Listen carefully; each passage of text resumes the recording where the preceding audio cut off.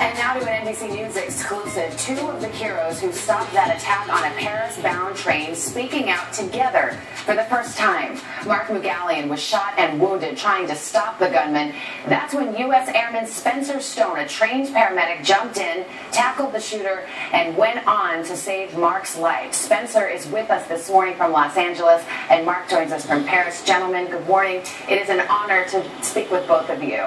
Mark, let me start with you. You were just recently discharged from the hospital. You were shot, the only one who, who took a bullet. You were one of the first people to notice this person on the train acting suspiciously. First of all, how are you feeling this morning?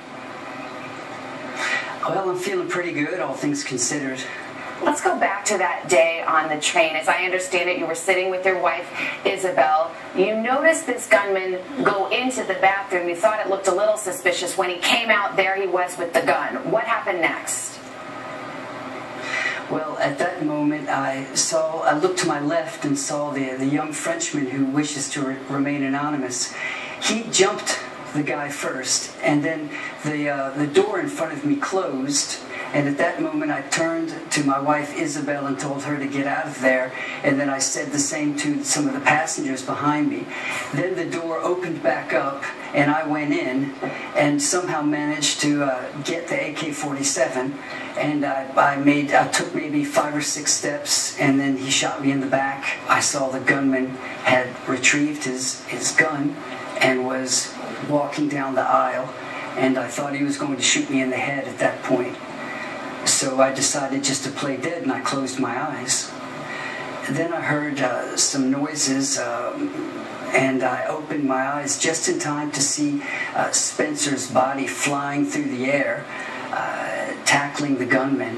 Let's bring in Spencer Stone to pick up the story from there because Spencer, I know you had been sleeping. Suddenly you see this commotion. You leap over Mark and, and attack this gunman. What do you remember?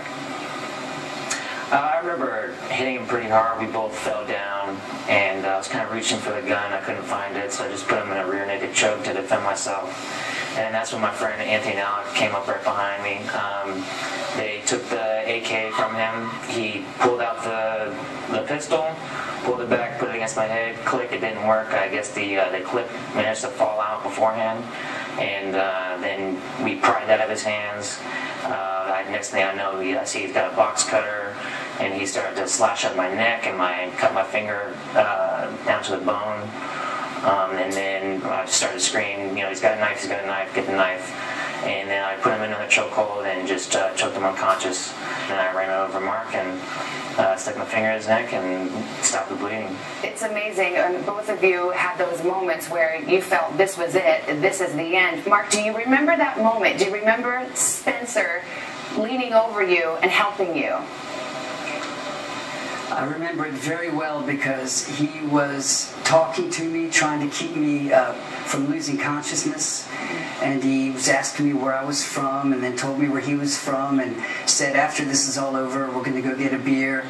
And um, he just he just kept me he just kept me there. You know, his voice, the sound of his voice, and also the sound of my wife's just kept me there. You know, kept me alive and uh, gave me hope. And Spencer, in that moment, you yourself are bleeding. As we now know, your thumb was nearly severed off. What was going through your mind as you're sitting here trying to save this other man's life and not knowing your own condition?